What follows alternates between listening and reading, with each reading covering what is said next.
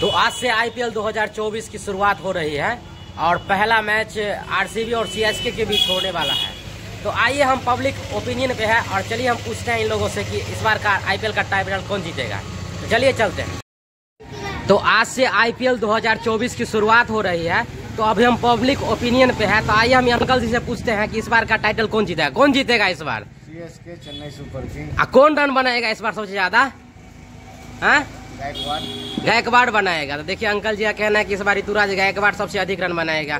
एक ठो एक भैया है मोबाइल दुकानदार तो आइए इनसे पूछते हैं। क्या लगता है आपको कि इस बार कौन जीतेगा टाइटल इस बार जीतेगा मुंबई इंडियंस। मुंबई इंडियंस। तो रोहित शर्मा को तो कप्तानी से हटा दिया है तो फिर भी आपको लगता है कि मुंबई इंडियंस जीतेगा?